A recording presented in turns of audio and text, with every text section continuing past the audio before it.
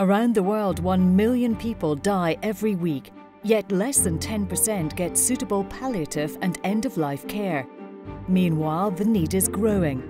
The global population is increasing and getting older. More deaths, more demands on families, communities, and services. Palliative care is developing, but not at the scale we need. Governments, policymakers, and funders are being asked to respond. A dignified death and freedom from pain can be seen as human rights. And public interest in how we die is increasing.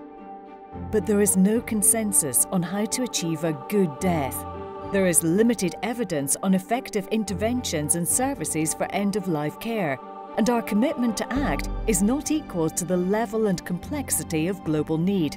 New research at the University of Glasgow is looking at these important problems using pioneering methods to find sustainable solutions.